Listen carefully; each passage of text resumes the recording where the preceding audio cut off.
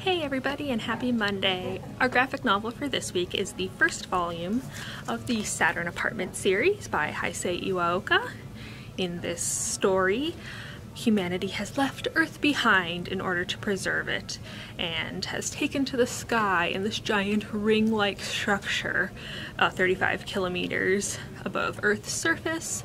No one is allowed back to the surface of Earth in order to preserve it now humanity lives in this giant ring, kind of like the Ring of Saturn, hence Saturn Apartments as the name. You get it? Anyway, that's where they live. It is huge and massive and there are different floors and where you live and which floor you live on determines your social standing in this new society.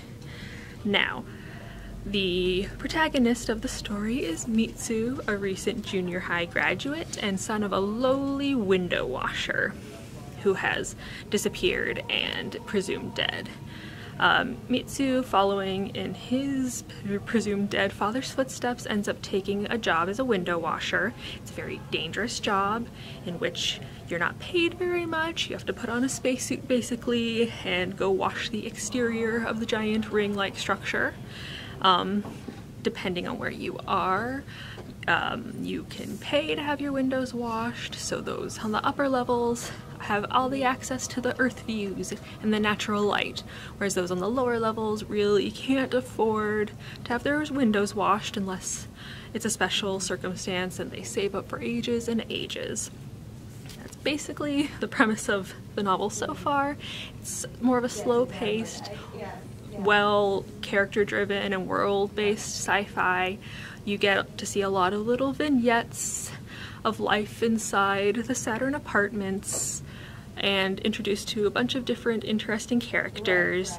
There's some drama with um, Mitsu sort of figuring out his path in life and trying to find out more about his father who he feels abandoned him and he's sort of trying to figure out who his father was as a person. He didn't really know him that well is the sense I'm getting.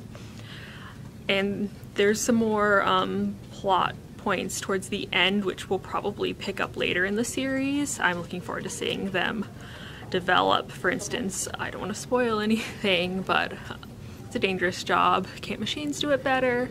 I think that'll come up later. Anyway, if you are into a more slow-paced atmospheric sci-fi, I highly recommend this book. It has a lot of heart and interesting characters, and I think the premise is just really interesting. If that sounds good, then check out the first volume of Saturn Apartments. Like I said, I can't wait to read the rest of the series. Anyway, that's it for this week. Stay tuned for Teen Book Tuesday tomorrow, and have a great day. Bye!